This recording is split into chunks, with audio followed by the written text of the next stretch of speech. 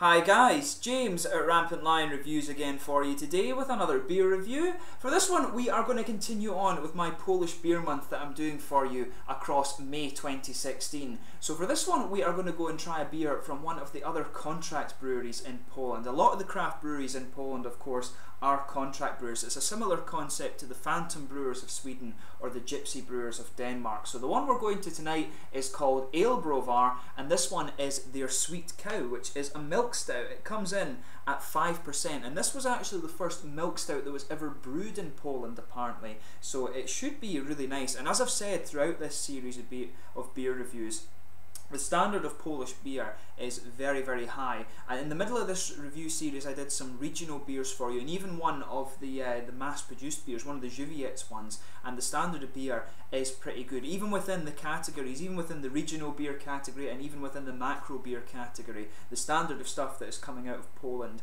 is very, very good, and the craft beers really are outstanding. So if you haven't tried some of the Polish craft beer before, I really would recommend that you do. So this is another beer that I bought from Pavel at Piwomaniak in Warsaw. If you do find yourself in the city, go and check out his store. He's a very nice guy, big metalhead just like me, and if you're interested particularly in Polish beer, then I'm sure he'll point you in the right direction. I bought about, I think maybe about 15 or 16 beers from him, so a lot of the ones you're seeing in this series are the ones that I bought there, so do check out the link in the description below to get to his Facebook. But anyway, as is usual with my beer reviews then, I'll tell you a little bit about the brewery. If you do want to get straight to the tasting, just fast forward. All the usual websites are in the video description below. That's the brewery website or the Facebook page in this case, and the link to my future reviews from Alebrowar. This is the very first time I'm trying one of their beers, of course, and there's all the usual social media, Facebook, Twitter, and Untappd, so please follow me on there. Your support will be much appreciated, and if you do want to see more beer reviews, do subscribe to the channel. I hope you're enjoying this Polish beer month,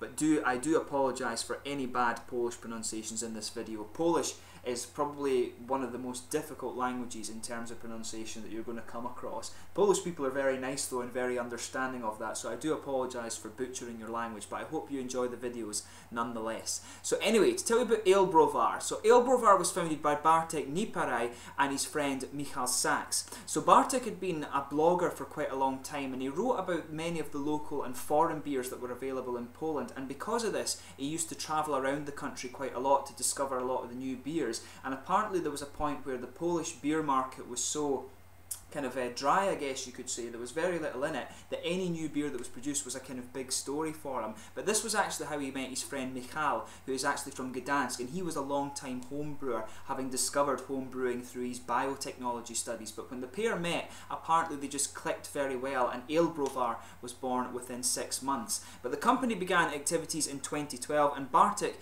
is the brand manager, while Michal concentrates on the brewing. And like many Polish craft breweries, they're a contract brewery, and so they brew most of their beers in other people's breweries. These guys seem to brew most of their beers at Browar Gościszewo, which is a little village in a little village of the same name just to the southeast of Gdansk. And just after their inception, actually, these guys were named in Rate Beer's top 100 brewers in the world. So quite a big achievement, and that gives you an idea of just how good the beers are that these guys are producing. A lot of them, if you check out the Rate Beer page, there's a lot of beers listed, and many of them are rated well into the 90s. And I've said it a couple of times before, I've been proved wrong once or twice in this series actually.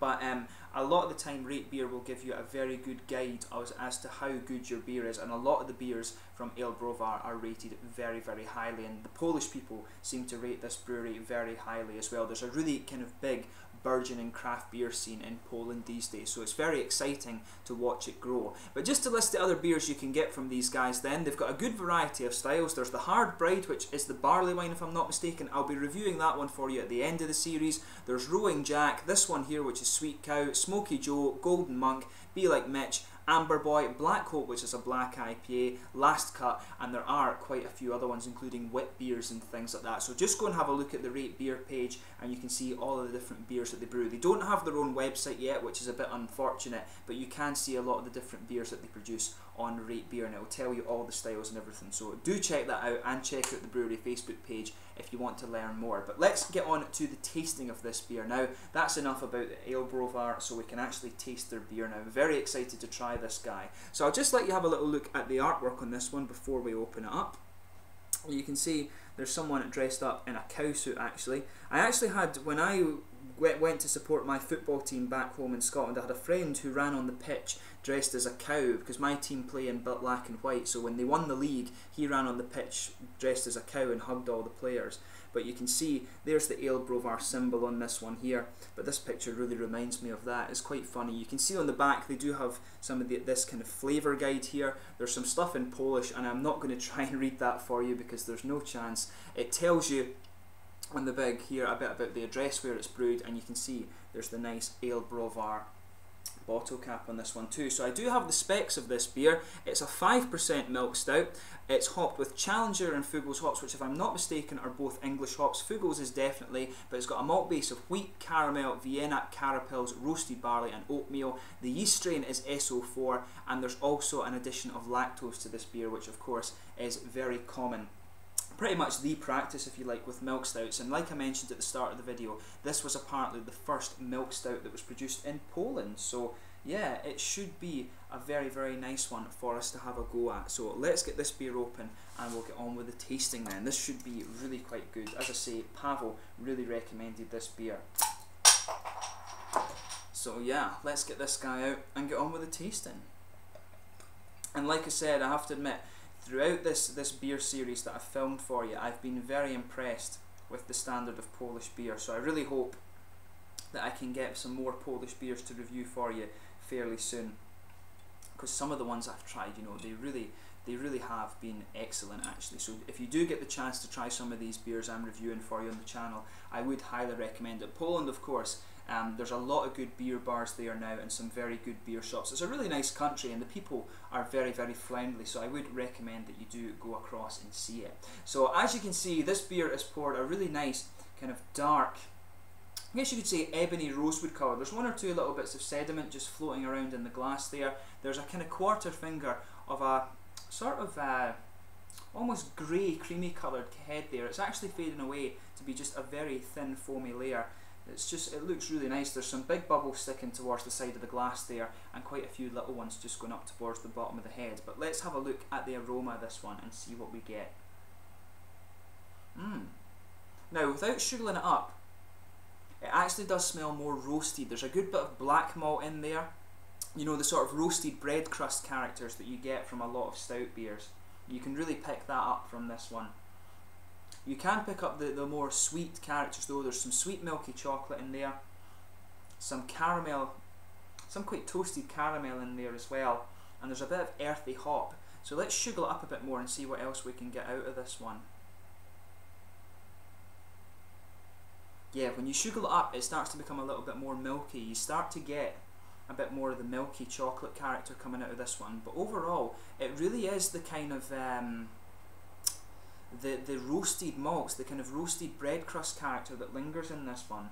There's a little bit of coffee in there, but it's more of a roasted bready character, like the well. If you think about a baker's loaf, if they well fire the top of it, it smells a lot like that. But yeah, there's a little bit of roasted caramel in there, some sweet kind of milky chocolate. Maybe just a little bit of licorice too, actually. But there's earthy hop in there, there's a little bit of grassiness coming out too, I think. You can't smell too much of the milkiness though, it really does lean more towards the bready side of things. But definitely some earthy hop, a little bit of grassiness too as well. That's the kind of trademark of these English hops that they've put in this beer. And the whole point of this one actually was to kind of mimic, the, they called it the old British style if you like. So that'll be why they've used the English hops rather than the Polish hops in this one I would guess. But it smells really quite nice. Once your nose adjusts to it, you do, in fairness, you do get a little bit more of the milk chocolate and kind of lactosey notes but overall it does lean more towards the bready and kind of black and coffee malts I think. So do give it a smell before you get stuck into it but we're going to taste this guy now. So this is the Sweet Cow from Alebrowar one of the many contract breweries or phantom breweries however you want to call them from Poland. I've heard very good things so let's tuck in. Nastrovia Slanja Skol.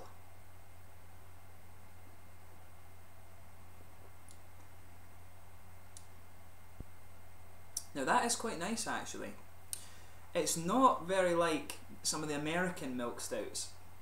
As I've always said in some of the reviews of the American beers that I've done for you, a lot of the American beers tend to be a new take on the old styles and they come back a lot sweeter.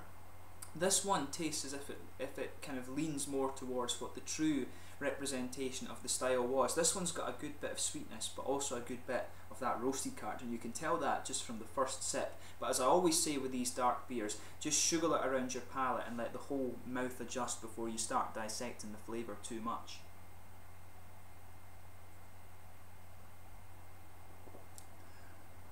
Yeah. Now, much like the aroma, this beer really does lean more towards the kind of uh, the sort of roasted and bready characters that you would expect from this beer style. It's not sweet in the same way that an American sweet stout is, not in the slightest. Um, yeah, no, this is really nice. I can see why Pavel recommended this one to me. Um, yeah, this is a good beer. So the middle of your palate is just blanketed with this nice, almost brown bready character. It's actually very light though. There's not too much body to that. You can feel it just going right across the middle of the tongue and there's some nice roasted character as you move out towards the edges of the tongue and that really just lingers there. That's just from the malty characters of the beer.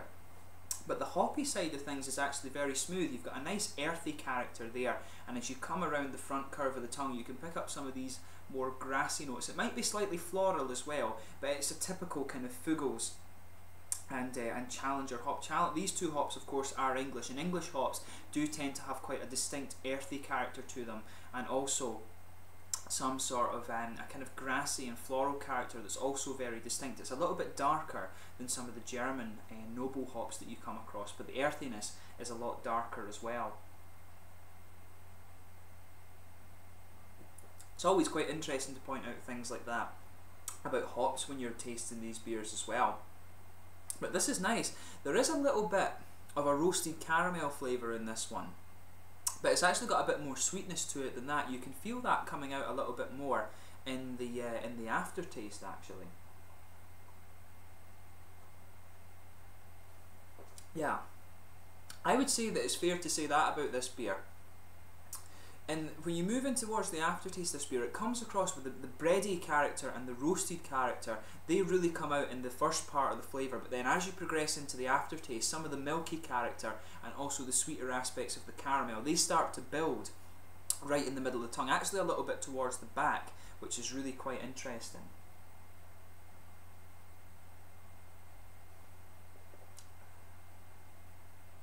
Yeah, this is a good beer. I enjoy this one it's not quite what I expected. A lot of the some of the Polish breweries really like to do the American style beers, and that's what I was actually expecting from this one. But it really does lean more towards the kind of English interpretation of um, a milk stout, and you know it's very nice. Doesn't matter, but for me the style doesn't matter. You can talk about styles and argue about whether a beer is this style or that style. It doesn't matter too much as long as the beer tastes good, and this one certainly tastes good. But that said, to me, this is definitely more of an, an English interpretation of a milk stout than an American one. So be prepared for that when you try this, but it's very nice. Mm. There's a little bit of a vanilla flavour in this one too. As I say, the sweeter aspects of this beer, it comes in with a good bit of roasty character, the kind of black malts and a bit of the bready flavours, but the sweeter aspects really do come out as the aftertaste starts to progress. There's a little bit of vanilla, you can get the sort of lactosey, milky flavours, a bit of the chocolate in there too, and this and the kind of the sweetness from there's a bit of caramel in there as well. The Vienna malt, of course, will give you a nice caramel, and you can feel these malts and the, the, you can feel the roasted barley and things like that in this beer. It's very, very nicely done. I certainly wouldn't hesitate to drink this beer again. It's a little bit light on the mouthfeel, I would say. I'd love to try it on tap with just a bit of a thicker mouthfeel and see how it comes out. But I mean, overall, it is very nice. It's very flavourful. You get a lot of beers that are quite light in the mouthfeel, but can be very flavourful. And this one fits into that category, I would say. Mm. But yeah, if you enjoy a good balance between roasted characters and sweeter characters, then you certainly will enjoy this one. So yeah, go and check out the Sweet Cow from Hophead, from um, from Ale Browar, the Hopheads as they call themselves in Poland. It's really nice actually. You will enjoy this one. In terms of the mouthfeel, like I say, it's mid-body, but for me it's a little bit light for a stout actually. There is a little bit of a creamy mouth feel, but it's more a kind of wet mouth feel at the same time. There's a bit of a, a kind of trade off there between that. It's light in the mouth feel for a stout, I would say, but it still packs plenty of flavour. The carbonation does have a little bit of uh, activity to it. It's a little bit crisp actually. And as I said, there's a bit of roasted dryness in there. That subsides a bit as your palate adjusts to the beer when you're uh, when you're drinking it. But at the start, there's quite a bit of a dry character, roasted character from that malt base. The malty sweetness comes out a bit more as you move into the aftertaste, and the hoppy side of the beer is quite smooth. It's a little bit drier as you move towards the front of the tongue, but those earthy and kind of floral characters that are the trademarks of these English hops come out really nicely. But yeah, I mean, overall, this is a very, very nice beer. As they said, it sticks more towards the British uh, kind of interpretation of the milk stout. By no means an American milk stout. For, so for those of you watching in the States, do beware of that. This one is more of a dark kind of roasted stout, but at the same time it does have a little bit of sweetness in the aftertaste. So just beware of that. It's more like a kind of old English style beer this than the milk stouts that you guys are used to in the States. But I mean overall this is a really really nice beer and I certainly wouldn't hesitate to drink it again. I will be reviewing in the future the uh, the Hard Bride. I've got a bottle of that in the cupboard behind me. It's a really nice American barley wine so I really look forward to tucking into that. But on the basis of this beer, I would certainly want to drink more Ale Alebrov beers they produced them very nice, and as I said, Pavel recommended them. So yeah, um, I hope you guys have enjoyed this beer review. It's been really cool to review another one of the many good craft breweries that are popping up in Poland. So as always, let me know your own thoughts on this beer in the comments section below. Do let me know the other beers that you guys enjoy from this brewery as well. And as I always say to you guys in Poland, apologies for the Polish pronunciations in the video, but please do get in touch and let me know the other Polish beers and breweries that you guys would like me to review. And I hope you're enjoying the Polish beer series. So until the next time, please please like, subscribe, share, all the usual YouTube stuff. Go and check out my social media things, but most importantly, thanks for watching and go and check out Ale Browar from Poland. Really nice brewery and there's a lot of exciting things happening in Poland just now. Slange just now and I'll catch you soon. Na zdrowie.